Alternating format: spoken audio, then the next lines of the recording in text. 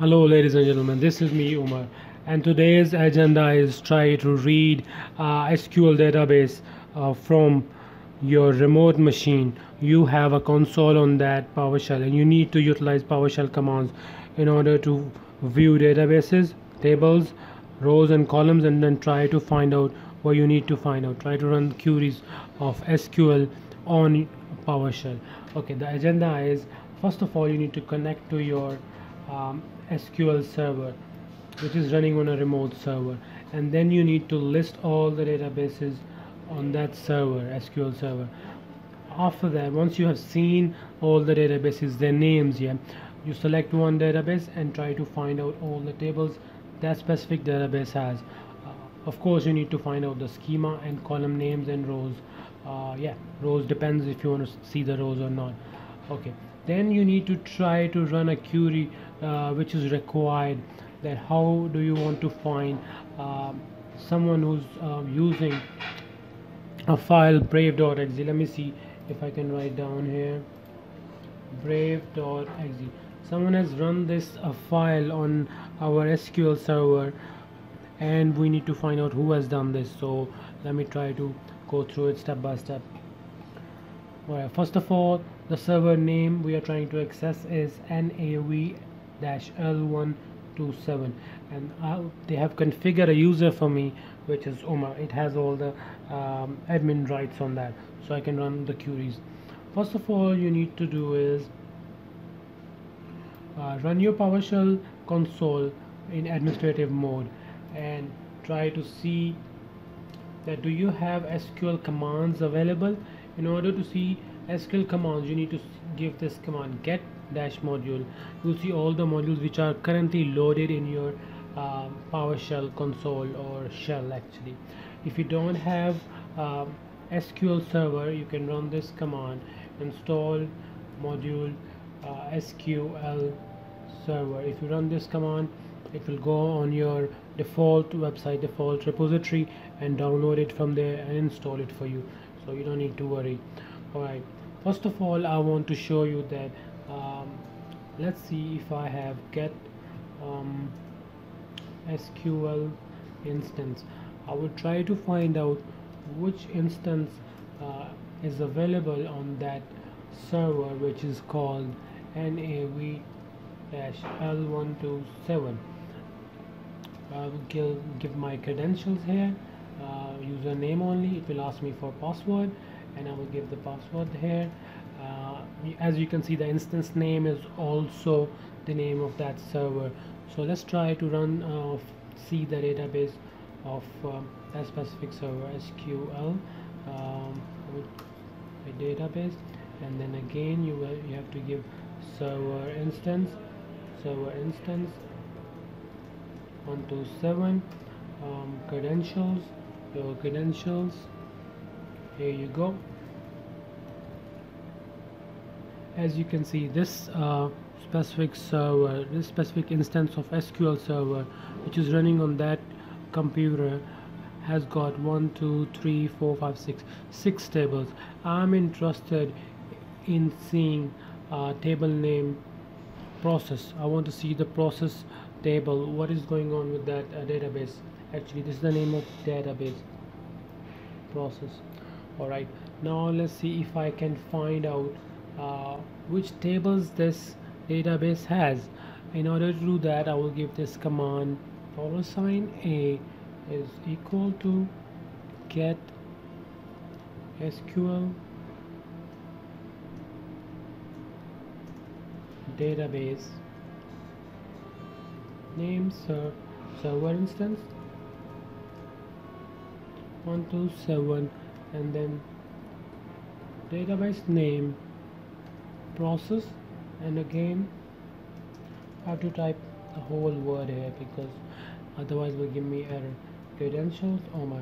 What I'm doing is I have created a variable um, dollar sign a and I'm trying to return an object of that whole database name process it will save all the values of process the schema the table information and all those things in this variable called dollar sign a.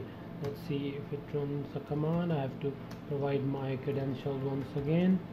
There you go.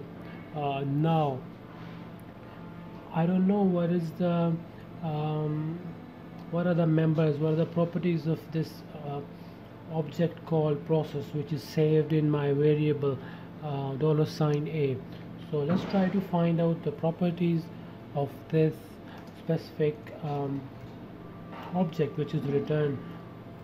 Get member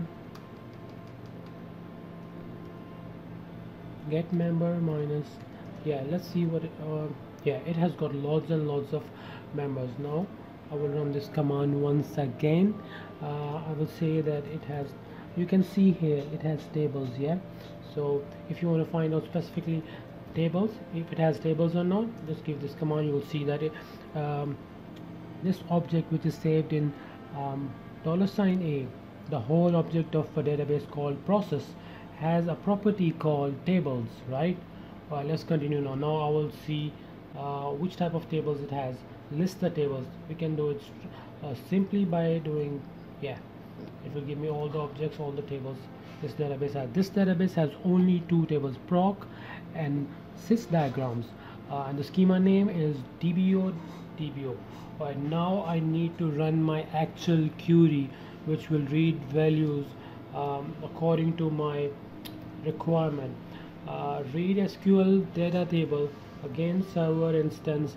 Uh, I will give my server name which is now dash L123 127 my credentials again. It will come like this. And now now I need to mention database name which is process.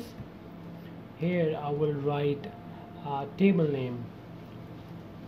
Table name which is proc. Now I need to mention the schema name. Schema name which is DBO DBO let me try to make it a little bigger so that you can see it properly. DBO alright. Let's see what it says.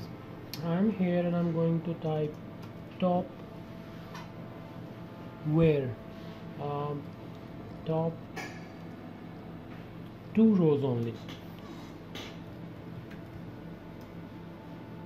It has some error. Let's see where is the error. It says failed to connect. Okay maybe my credentials were not correct.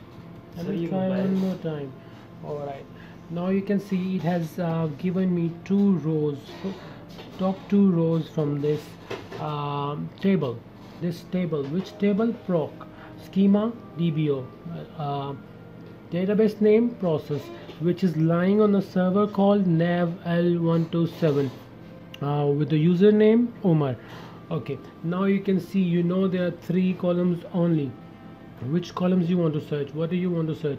You want to search a file called brave.exe do you think you can find it out? And who was using that file? Who was logging uh, at that time? And who uh, has run that exe called brave.exe I will repeat this command once again and I will say give me top 10 uh, of those values where where uh, path where the column name path might have path you can go on the other other side yeah? Now I'm here as you can see. Uh, let me try to make it a little bit smaller so that you can see it properly. Yeah uh, or you can just make it bigger like that. If you are coming here yeah. Path like. Press tab and you will complete it. Uh, brave.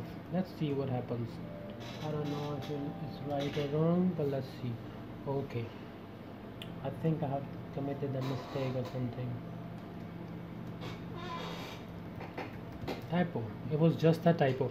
Okay as you can see I can run this command one more time without these double quotes.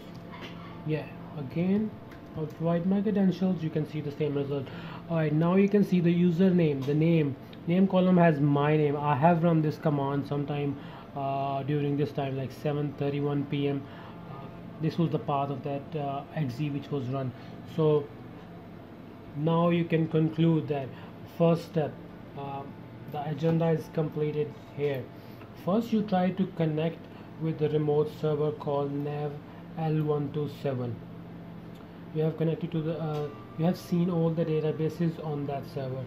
Then you need to find out the tables of any specific database you found out that by uh, returning an object in a variable uh, you use the property called table and you found out that it has two or three tables let's say and then you uh, ran your command using schema column name uh, and your criteria and at the end you knew that when and who ran this exe file. Uh, yeah I'll keep on uploading more videos related to PowerShell uh, let's say every week or maybe every alternate day. Thank you very much for watching. Subscribe to my channel. Cheers. Bye bye